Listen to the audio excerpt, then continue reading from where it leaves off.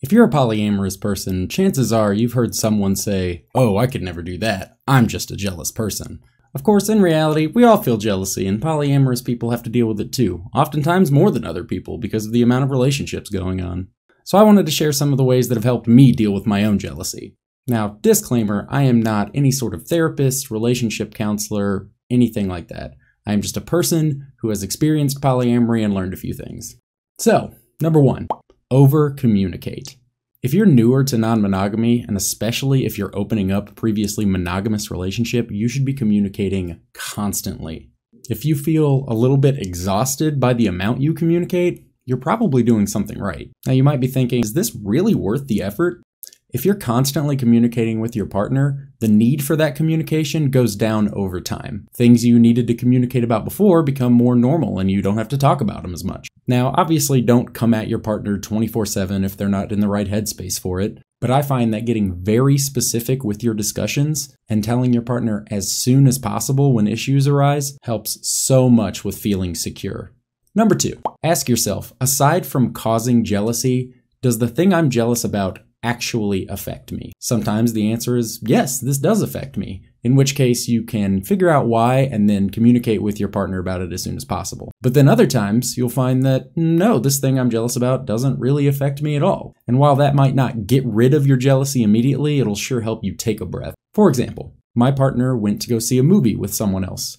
It's a movie I wanted to see, but we didn't plan to see it together. I'm a little jealous that they're seeing it without me. But does that actually affect me? Not really. I can still see the movie. I can still see it with them if they want to.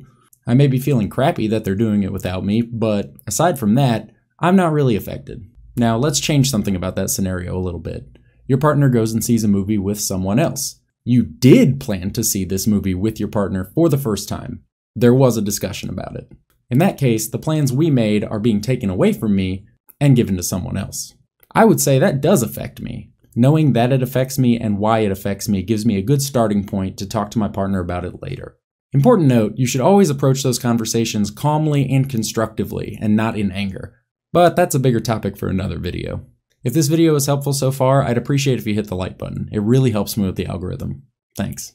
Number three, do something that makes you feel productive that has nothing to do with your partner. It's very important to sit with your feelings of jealousy and analyze those things, but sometimes you just don't have the emotional capacity for that. Your partner might be out on a date and you're not, and you're not feeling good, and you just don't want to think about your jealousy right now. So go do something that you know will make you feel productive afterwards. For instance, I'm a graphic designer. I make cool polyamory designs when my partner's on a date and I'm not. Available at polyamfam.com. Sorry, had to grab that shameless plug. But completing these designs makes me feel productive.